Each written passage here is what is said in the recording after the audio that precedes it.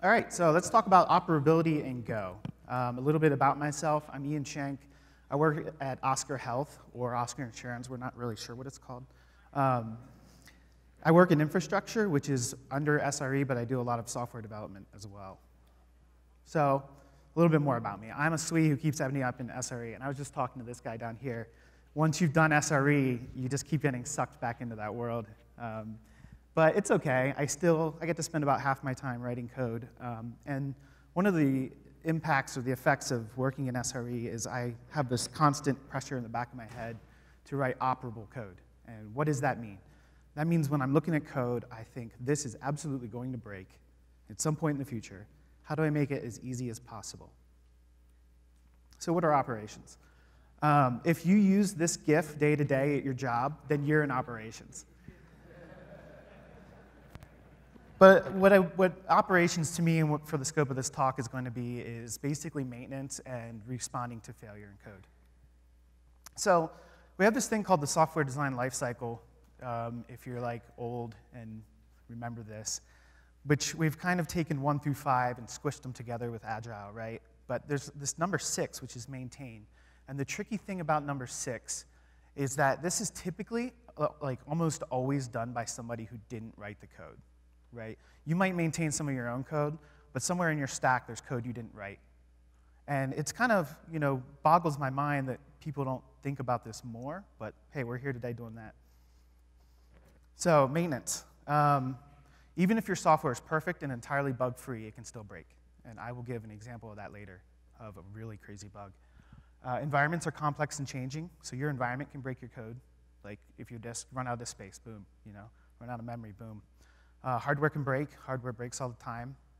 It's a lesson we've sort of learned over the last 10 years. And humans are especially buggy. So when something fails, we have two equal objectives. Uh, one is fix it. Two is determine what went wrong. And I say these are equal objectives because, yes, you have to fix it, but determining what went wrong is very, very important. Um, so fixing it, well, it kind of depends on the situation. I don't have a magic bullet for you. If something's broken, you got to figure it out and fix it. But we can talk about failing well. Um, failing well. You want to fail immediately when an unrecoverable error occurs. You don't want to keep running in an inconsistent state. That's how you end up with data corruption. That's how you end up in an even worse situation. You want to fail the smallest execution unit necessary. Um, that's kind of a weird concept to describe. Um, where's my timer didn't start, by the way. Okay. Just let me know if I go over. Um, that's so like if you're if you have a service and you have service handlers, if it's possible to just fail the handler so that the whole service doesn't come down, then you could do that. It's totally fine. Um, but err on the side of caution. If you need to blow up the whole application, do it. In general, an unhandled or unrecoverable error should panic. Uh, this might be a little contentious, but I think it should.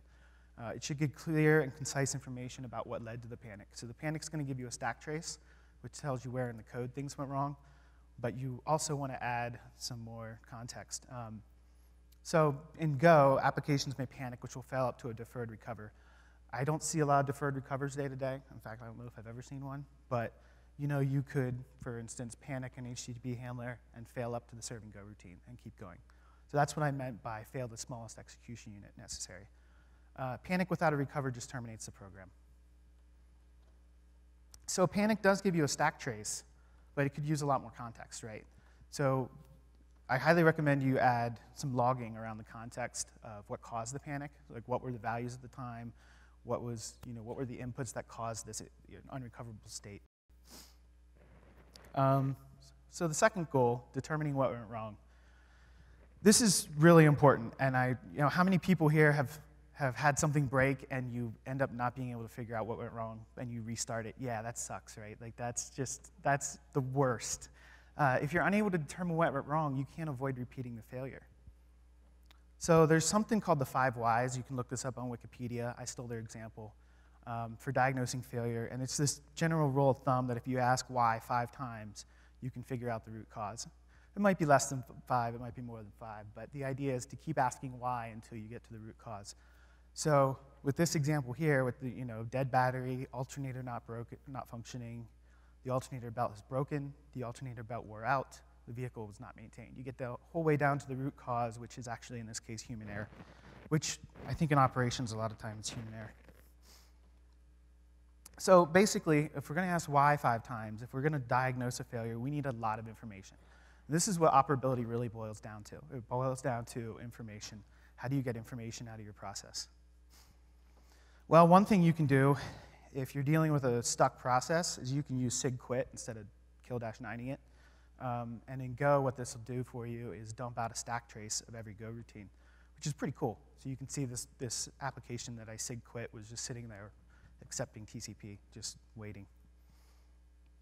Um, what are, what, so then what are our sources of information? We can get a stack trace of stuck process. And obviously there's logs. Um, we've all dealt with logs before. So the first thing I want to say about logging is provide context. Don't just log that print line error. Because there's a lot of errors in the Go standard library that will give you no context, like all of the errors in the IO package. Unexpected EOF. Unexpected EOF of what? Like, what was the file? Like, what was going on at the time? Um, a note on errors, though, some of them do provide context, which is really useful. So I kind of think about errors in Go in two classes. You either have an error that you test if it's nil or not, meaning success or failure, or you have named errors, like in I.O., which you can actually compare and branch and do flow control based on the error, besides just a Boolean value. So some errors do provide context, uh, which is good. Um, if you guys have never seen the errors package, um, it allows you to wrap context onto an error. I recommend it if you're going to be passing an error up.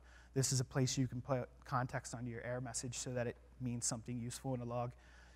You can also add context with the logger. Um, so there's something called structured logging, and it's attaching key value pairs to your log. And uh, there's something called Logrus I recommend. That's what we use.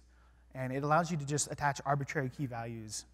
And this example is, you know, your log message just started observing the beach, and that log message by itself would be very uninformative. But you add animal walrus number eight, and suddenly you know that there are eight walruses observing the beach. Um, this is sort of the output you get from, from these things, uh, from Logrus. Um, what's really cool here is you have context in all these messages. And that's really what I really want to drill home here is that logging should be action with context. The, cool, the other cool thing about structured loggers is they can output JSON, um, which might be tenuous with some people, but you can output text or JSON, which is really easy to consume using um, Logstash, ElkStack, Splunk. And context can make all the difference. So so this, this is a real world example, this first line. Um, this was an error that was popping up in, at Oscar, all, like, not all the time, but every like month or so. It would pop up and it, it, we were like, why, how is the port already in use? How is the address already in use? Because we were binding, our code was absolutely correct. We were binding the port using SO_REUSEADDR. All of our code uses SO_REUSEADDR. There was nothing else like on that port that we knew of. And we couldn't figure out the problem. So after I collected about six of these error messages, I noticed that all of them were on ports over 32K. Has anybody figured it out yet? Yeah, outgoing TP, TCP connections. Uh, and so, you know, because we had that context there, we were able to figure out the error and fix it. So logging anxiety. Um, the anxiety over what to log, what is too much, what is too little. I was talking to this guy earlier, and he's like, you know, they, he doesn't like to see a whole bunch of log churn and dumping entire data structures out. So, yeah, the, you, I think we've all probably experienced a little bit of anxiety over what to log and how much to log. So set that aside in your mind for now, because I have a solution. So what's some other information? Well, we have that stack trace. We have logs that are action with context if you're doing it right. Um, what about the environment? Environment's pretty important, right? What about flag values? What about a stack trace? What about, I don't know, random variables uh, inside your program? So logging some of these may work, um, but maybe there's a better way. And logging doesn't work at all for some of these cases. Like you're not going to log a stack trace every five seconds, right? So what about logging information outside of, or exposing information outside of logging? So logging describes action with context, and that's what logs are really good at. Well, there's something in the standard library called expvar, which exposes current state. Um, expvar, for better or for worse, adds a route to your default server mux at debug vars. And I think that's really unfortunate. Um, I don't like side effects in my code. I don't like weird side effects on import. But that's how it was written, and that's how it'll probably be for a while. Uh, in a recent, I think Go 1.8, they finally exposed the handler so you can mount it wherever, which was like the happiest day for me. Um, it provides an arbitrary HTTP handler slash endpoint, um, you know, whatever you want to call it, which exposes arbitrary data in JSON format. And so what kind of data? Well, out of the box, if you just import expvar, you get a command line and you get memstats. And it looks kind of like this. Um, I truncated that memstats object because it's like freaking huge. But you get your command line, which is a list of arguments. It's just os.args. Uh, and you get your memstats, which is pretty, some, it can be handy sometimes. Uh, if you want to learn more about memstats, there's a really, in the runtime package, there's a memstats object that like documents every single field on that object. It's huge, so you, you have to just go look at it. But it has things like allocated bytes, your heap sys total. Um, it's got GC statistics, like how much time you spend in GC, how often you're spending time in GC, and then allocations by size. This, this um, unfortunately isn't as useful as, um, as I'd hoped, but it can be useful sometimes to try to figure out like what's going on. Uh, the one case where this was useful was Go doesn't tend to give memory back to the operating system, and I was a little confused there, and look, after looking at memstats, kind of made sense. So you can use expvar to expose various var types. So there's a float, an int, a map, and a string. And the map can be a map of string to string, or string to float, or string to int. Um, and if you're dealing with numerical types, you have atomic operations for set and de increment, decrement. So those, those are pretty cool. You can use them as counters. But notably, there's this publish func. Um, there's this func type, var type. And right here, this is just straight out of expvar package. There's a command line, which is actually just a func command line. And memstats was just func memstats. So what does func do? Well, it publishes a function that returns an interface. And whatever that function returns, it's marshaled to JSON and sent out the wire. And this is, this is the memstats. This is actually the code straight out of expvar. Um, that's all there is to it. So what else can you do with expvar? It seems pretty cool. Well, you could publish the environment. Like that little one-liner right there will do it. Um, but os.environ gives you a list of strings. So you might want to map instead, instead of a slice. So you could split it up and make a map. So what is this redact map here? I, I don't have the code for that. What that is, is if you guys, you probably pass in credentials or secrets through environment, you probably don't want to just leak them out. So I recommend writing something that redacts values. We just use regexes and a common prefix and redact them out. Um, you're, you're going to want to filter the secret values somehow. And in addition to redacting them, we hash the values so we can compare like between services. Like, why is this service not working, but this one is? Well, you can go look at the secret value and compare the hash and know if you've got a wrong credential. Um, flag values can also be very useful for debugging. And if you notice here, I use visit all. So there's visit and there's visit all in the flag module. Visit visits all of this, the, the, um, the set flags. The flags are set on command line. Visit all visits all of them. So I like to dump all my flag values, even if they're using default values. And I like to flag magic values for two reasons. One, that means that later they can be changed. And two, they show up in expvar, which is super useful. So if I was, you know, say I had a timeout value somewhere in my code, instead of just setting it to a constant, I would set it to a flag value. It shows up in expvar, and I can change it later. Super handy. Um, stack trace. You could publish a stack trace. Go runtime lets you print out a stack trace into a buffer. 65K is probably too big, but you get the hint, you get the gist. Um, so this is super useful. Say you have a stuck process. Now you have an HTTP endpoint that you can hit, and you can get a stack trace, and you can see where it's stuck while it's running. Or if it's sitting there churning and you don't know what it's doing, you could hit this endpoint, get this stack trace a few times, and see right into your process. So, you know, the first three, I would do this with like every program. In fact, at Oscar, we do this. Everything that runs exposes these things, like everything, just right off the bat. That way, when something goes wrong, we can go look at it. Um, you can also publish your own things, and I encourage you to do so. So if you have large data structures in your code that you want to observe, just publish them. Um, a word of caution, though, don't publish things that are super expensive. So, like, don't put a health check that does like a full table scan or something uh, in expvar because every time you hit it, it's going to do that. And at Oscar, we have like some scripts and some systems that hit these endpoints to do things, and they can hit them a lot. And yeah, you don't want to DOS your servers, your service or your job or whatever. Um, so use verbose names. This goes hand in hand now. So now we're up to the point where we're exposing values, we're exposing all this information. Use verbose names. So back to remember back what I said. It, it's the weird thing about maintenance is a lot of times the person maintaining the software didn't write it. So I might think expvar published jobs makes a whole lot of sense, but the person who inherits the code and inherits the thing, they have no idea what, what, what does jobs mean. So use a verbose name like discovery job cache. Um, the same goes for flag names. So if we're flagging more magic values and exposing the flags in expvar, use nice long verbose names instead of like short names. This will also keep you from colliding with other flag values. Um, sort of the practice that we've been adopting recently has been to use like the package path as the flag name up to the flag itself. Uh, the same goes for environment variables. So instead of DB password, maybe claims DB password. Um, instead of init timeout, maybe discovery init timeout. Just use nice long verbose names. So remember what I was talking about with log anxiety. Um, if you use these two things together, I think you get a lot less log anxiety. You're like, I don't need to constantly dump this huge data structure out into the log so I know what's going on.